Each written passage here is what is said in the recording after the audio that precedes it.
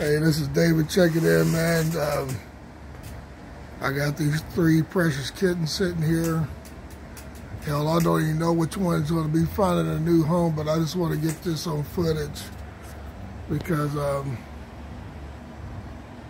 I'm going to miss them.